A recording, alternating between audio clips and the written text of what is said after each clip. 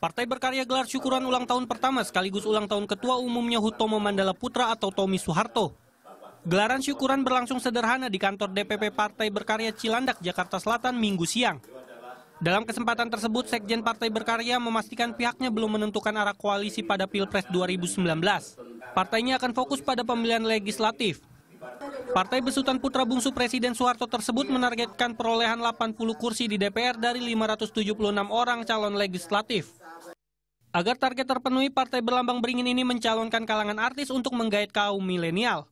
Di antaranya Rasidin, Doni Kusuma, Andi Arsil, Sultan Jordi, Anissa Trip Hapsari, dan Angel Elga. 80 kursi. di DPR RI. Tidak ragu-ragu kami ingin mengatakan mohon izin Partai Berkarya menargetkan 80 kursi DPR RI secara nasional. Partai yang didirikan pada 15 Juli 2016 lalu ini mengusung sosok Presiden kedua Republik Indonesia Soeharto. Petinggi partai pun didominasi keluarga cendana. Rio Pramasta, Nurhanto Marjo melaporkan untuk NET.